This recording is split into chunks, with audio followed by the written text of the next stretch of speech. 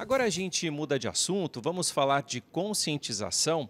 Abril é o mês de conscientização sobre o autismo, é o Abril Azul. Nesse período são realizadas diversas ações de inclusão de quem tem ou convive com autismo. Eu estive em São José do Rio Pardo, eu conheci o Léo.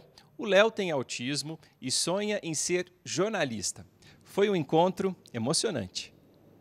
A recepção é com o abraço dos bons. E aí, tudo bem? Tudo.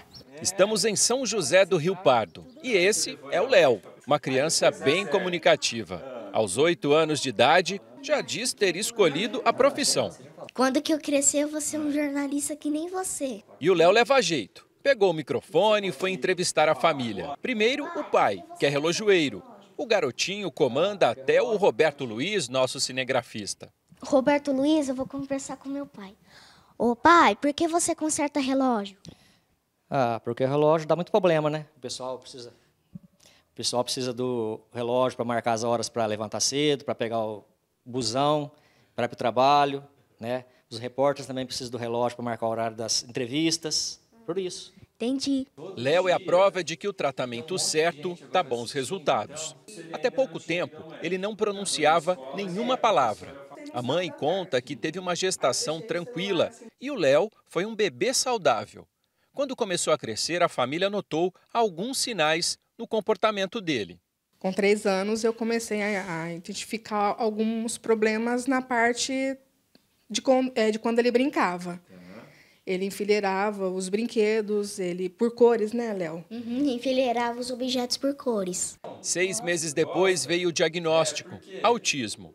A falta de conhecimento, inicialmente, deixou o pai bastante preocupado.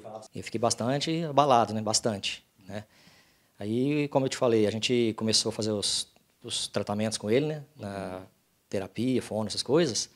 E as próprias profissionais acabou com, é, tranquilizando a gente, né? Conversando, não, isso não é assim, né? O que você está pensando, tá? Foi explicando, explicando. E a gente acabou chegando nessa conclusão que realmente tem nada a ver, né? Uma criança é totalmente normal, apenas um comportamento um pouco diferente das outras, né? Léo faz tratamento com psicóloga, psicopedagoga e fonoaudióloga. E nesse processo de desenvolvimento, a família coleciona momentos emocionantes. Foi um dia que ele chegou em casa, me abraçou e ele falou: Mamãe, eu te amo. Foi Ganhei a primeira vez que eu falei isso. Como é que foi? Faz de novo. Foi a primeira vez que eu falei isso. Aí eu falei assim, mamãe, eu te amo. Falei é. assim pra minha mãe. Ele me deu um abraço, né, Léo? É, me deu um, eu, eu dei um abraço pra minha mãe.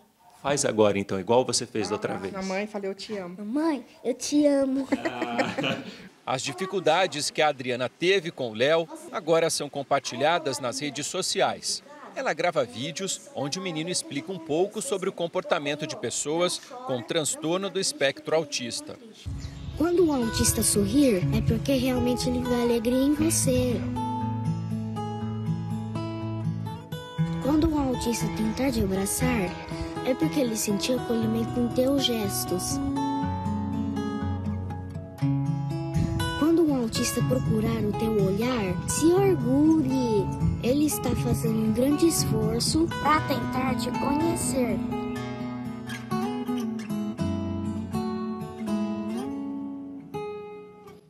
Os autistas têm muito mais a nos ensinar sobre a pureza e a sinceridade dos seus atos do que nós a eles sobre comportamento social.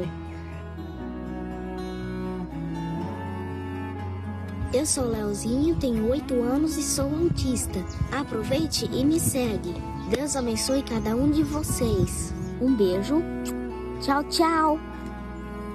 Como toda criança, claro, também tem vídeos engraçados.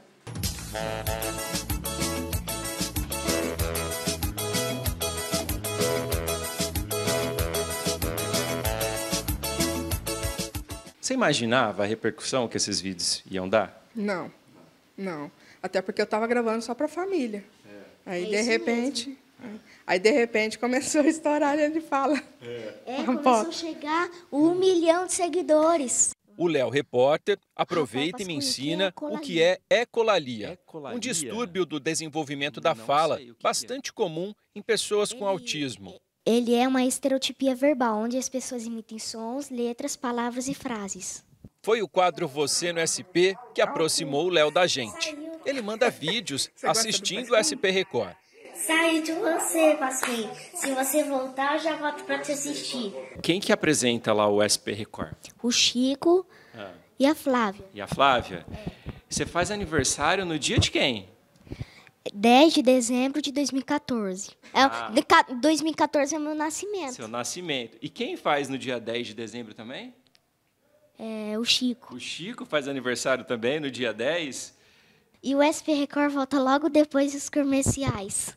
Calma, Léo, o intervalo é daqui a pouco. Antes, o nosso repórter de faro apurado desconfia de algo lá na cozinha. Que cheiro bom, hein? Que que, que tem lá na cozinha? Acho que é cheirinho de pão de queijo. Hum, eu vou, vou correr lá. Teve café da manhã para todo mundo. Estima-se que no Brasil 2 milhões de pessoas sejam autistas. O transtorno tem diferentes níveis. Normalmente é diagnosticado na infância. A criança pode apresentar dificuldade na fala, não consegue fazer contato visual com outras pessoas, tem rigidez no corpo, se isola, não interage com crianças e adultos, repete palavras ou gestos e desenvolve fixação por objetos. De volta ao Léo, depois dessa agradável recepção, chega a hora de ir embora, com a promessa de voltar logo. Não é mesmo? Nosso pequeno grande repórter. Tudo vira memória. Escute bem. Tudo vira memória. As coisas boas e bonitas da vida e as coisas nem tão boas e tão bonitas assim.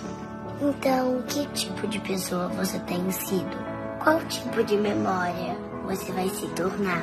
Então, um conselho: seja uma boa pessoa. Aquela que, quando lembrarem de você, vai pensar bons tempos. Pessoal, muito obrigado pela visita, viu? Até até o próximo, até a próxima visita. Tchau. Ô, Léo, que bom saber que a gente faz aniversário na mesma data. Um abração para você, viu? E quem quiser acompanhar a rotina do Léo pode acessar a conta dele no Instagram. O endereço é leozinho.tea.